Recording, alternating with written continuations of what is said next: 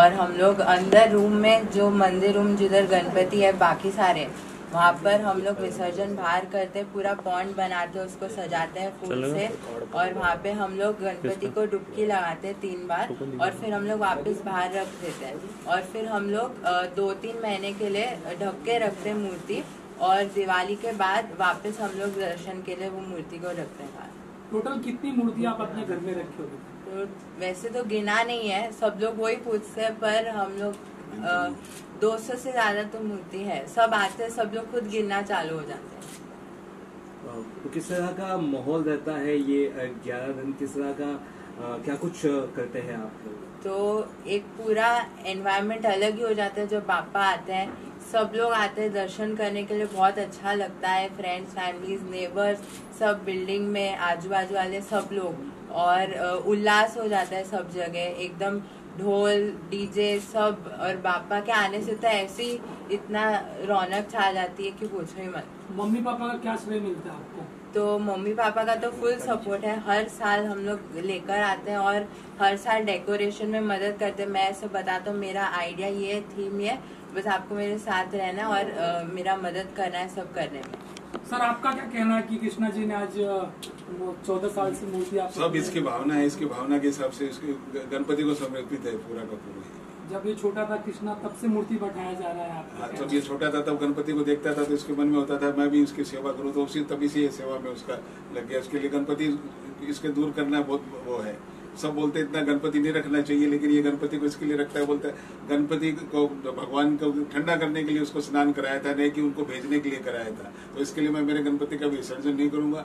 जितना दिन मेरे से होता है उतना मैं सेवा कृष्णा की एक खासियत बात है कि जब उसको गणपति देखना होता है तो वो ट्रेन से सफ़र करता है ट्रेन से सफ़र करता है बॉम्बे के सब गणपति दर्शन करता है ये किधर के भी हो सब पूरा जब से तीन महीने पहले है वो तब से चालू हो जाता है जाना पहुँचना उधर सब जगह का। सब सब जो गणपति आप घर में रखे हो कब विसर्जन किया जाएगा? कब कब वो वो विसर्जन नहीं किया जाएगा वो जो भी इसकी इच्छा होगी तभी होगा। बोलता रिद्धि सिद्धि घर में ही रहनी चाहिए। इस बार क्या रूप लाए हो भगवान का? ये बार अर्धनारेश्वर रूप लेके आए इसने पूरा थीम बनाया एक फोर्टी मिनट्स की पिक्चर बनाई है उसके ऊपर इसने हमको लास्ट में दिखाया फ़र्स्ट डे कि यहाँ भी मैं इसके लिए डेकोरेशन आउट किया उससे पहले मैंने एक 40 मिनट्स की मूवी बनाई है और पूरी मूवी में हम लोग ने कहानी दिखाई कि अर्धनारेश्वर स्वरूप कैसे आया।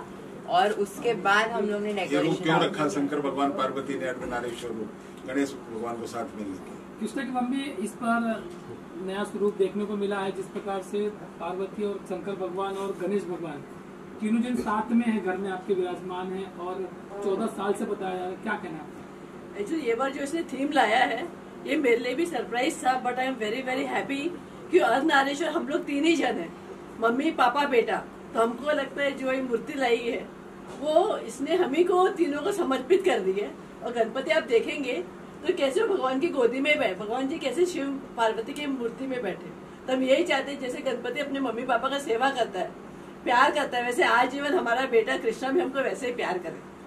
जब अपना बेटा खुद गणपति बैठा के सारी गणपतियाँ घर में रखता है तो कैसा लगता है अच्छा भी लगता है मगर कभी कभी ऐसे नहीं कि गुस्सा नहीं करते क्योंकि थोड़ा जब पूजा पाठ होता है तो थोड़ा एक बार अड़चन आती है मगर फिर बाद में फिर से थोड़े नॉर्मल होकर खुशी होते हैं चलो इसी बहाने भगवान की सेवा तो कर रहे हैं।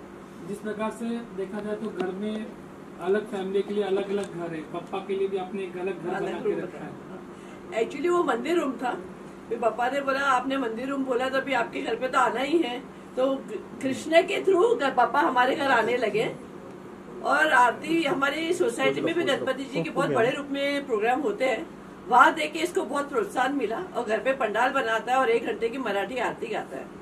सारे महाराष्ट्र में विसर्जन होता है मगर आपके उधर विसर्जन करने के बाद आपके घर पे रखते हैं उसके पीछे आपका क्या इच्छा है? मेन जैसे इसके पापा ने इसको सिखाया है कि विसर्जित इसलिए नहीं किया जाता कि आपको डुबकी लगा के गणपति जी को भेज देना है।